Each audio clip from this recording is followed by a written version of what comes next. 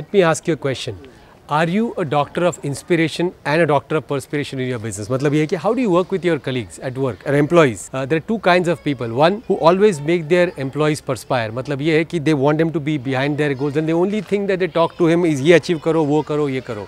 You know, if you only make them perspire all the time, mentally your employee is going to expire. Mentally, it's not going to happen. But at the same time, there are some I know who keep only inspiring. If you only keep inspiring your colleagues, trust me, your business will expire. So the combination of you got to make them inspire, you have to inspire at the same time, you have to make them perspire. So be a doctor of inspiration and perspiration for your colleagues at work. Thank you.